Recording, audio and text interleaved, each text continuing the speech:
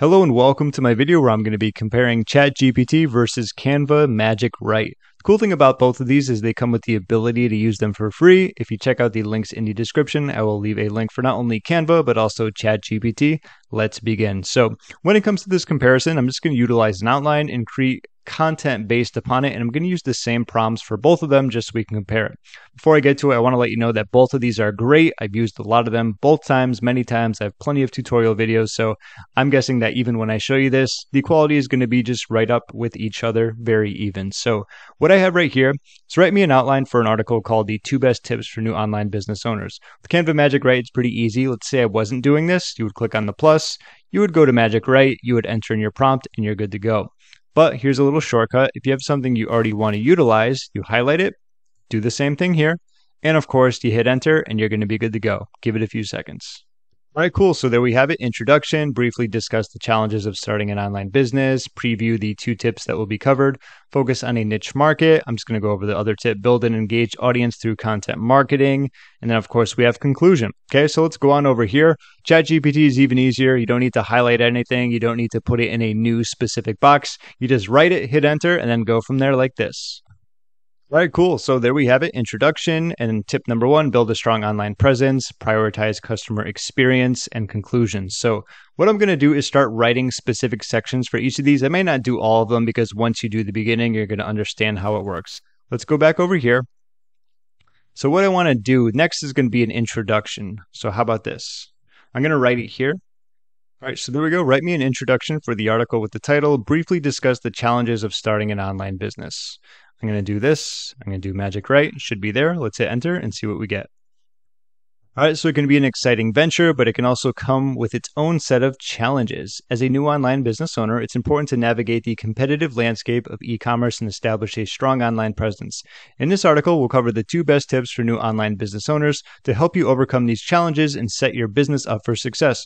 Pretty good, simple, exactly what we were looking for. I'm just going to copy this prompt and I'm going to go over here and utilize this. I know this might be a little bit different, but uh, anyway, let's go and hit paste. All right, so very similar, a little bit more. So it can be exciting and fulfilling, but it comes with a fair share of challenges. You may find yourself struggling to stand out in a crowded marketplace, attract and retain customers, and establish a strong online presence. However, with the right tips and strategies, you can overcome these challenges and achieve success in the world of online business.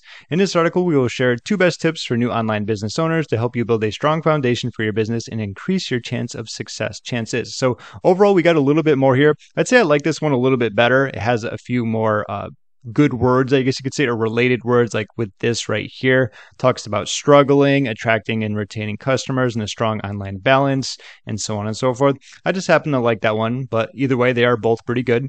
Next, we're going to do, say, tip number one focus on a niche market.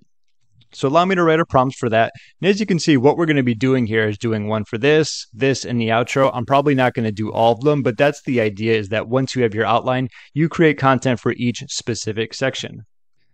All right, so write a paragraph about focusing. Oops, let me uh, highlight this and go to Magic Write. Focusing on a niche market when getting started with your online business. Let's hit enter.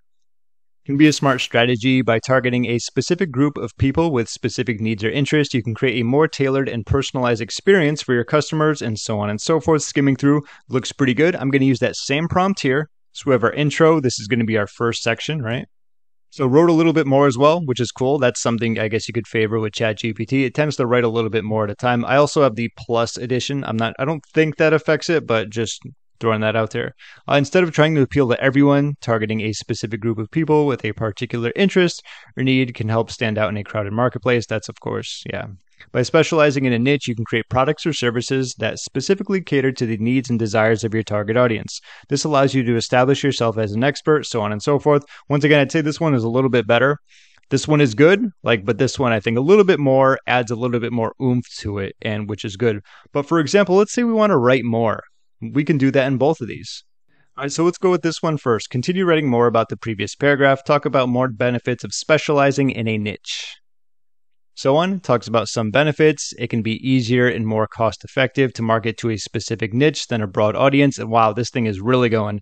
A lot of content there. I'm not going to go through all. Uh, let's see, you can tailor your messages let's see, can help you build a stronger brand. It can be more easily identified and address pain points or challenges to specific customers. So you can always pause that if you want to read it. I don't want to take forever reading these longer paragraphs, but we can actually do the same thing. So if we highlight this and do Magic Write, and what I want to do is the same thing. Continue writing more about the previous paragraph, talk more about talk about more benefits of specializing in a niche. Let's see what we get. Specializing in a niche can also make it easier to create targeted marketing campaigns that speak directly to your ideal customer by understanding their specific pain points and desires and so on and so forth. I can provide opportunities for collab. So once again, this is right on. Uh, the differences here, once again, is that ChatGPT is capable of creating so much more content at once, as we can see. With that, I would say this is a little bit better. The quality is both great, but I think ChatGPT wins here, given the fact that it's clearly capable of producing a lot more content at once. So that would be the process when you go back and forth. We would go to the next tip, do the same process. Then, of course, the conclusion, you know, whatever it's going to be. I think you get the idea of creating it. I'm just more so looking to compare the quality and how it works. Overall, quality is both great. ChatGPT just has a little bit more when it comes to writing and more oomph and with that, it definitely gets the edge in terms of the amount of content it can create at once. But overall, allow me to just pretty much compare ChatGPT and Canva. You saw them in use. I always like talking about some of the reasons why you might want to use one or the other, as opposed to like this one's just better because whatever the reason is. So let's talk about ChatGPT first. What are going to be some of the reasons why you might want to use this? Well, first and foremost, it does come with a free plan. I know Canva does too as well, but it's going to be pretty limited. For this, the, the biggest thing you're going to have to worry about is that there's so much traffic to it that a lot of times you have to wait. You can only create so much content per hour. I've done this many times myself where I go to create videos and it's like, well, now I got to wait because I use too much too quickly. So that's going to be something to keep in mind. You'll probably also want to use ChatGPT if you you plan on creating a lot more content, it's going to be harder to do whether you're using the Canva free or paid plan because you're limited to a specific amount of prompts or creations or queries uh, per month, which so there's going to be some limit to that. So I think that's going to be some of the reasons why you might want to use ChatGPT. If you did want to upgrade, it is going to be $20 per month, which I have right now. It says available when demand is high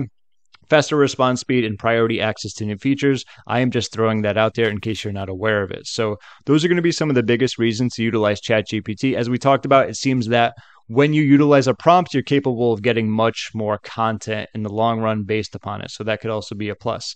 Now, on the other hand, some of the reasons why you might want to use Canva Magic Write.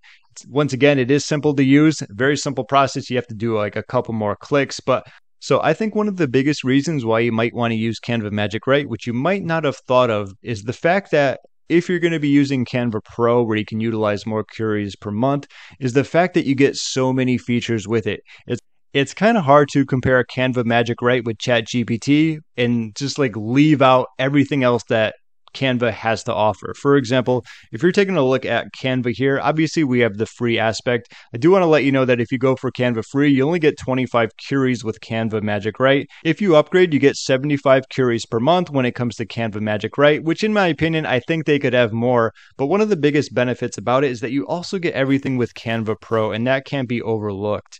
So I think one of the biggest reasons why you might want to use Canva and Canva Magic Write is that if you're looking for Canva Pro, you got a lot going on for there. Not only do you get the ability to create all these social media posts, social media content, YouTube thumbnails, you know, there's uh, all the premium templates, which are right here. There's plenty of those, which are excellent. I've done videos on those. I think that's going to be one of the biggest reasons to use it, especially if you're going with Canva Pro, is because you get so much more. While ChatGPT might allow you to create more content at once, uh, overall more content, you know, per day or, you know, per hour, whatever you're going to be doing it, I think Canva really has the leg up because they come with so much more at the same time.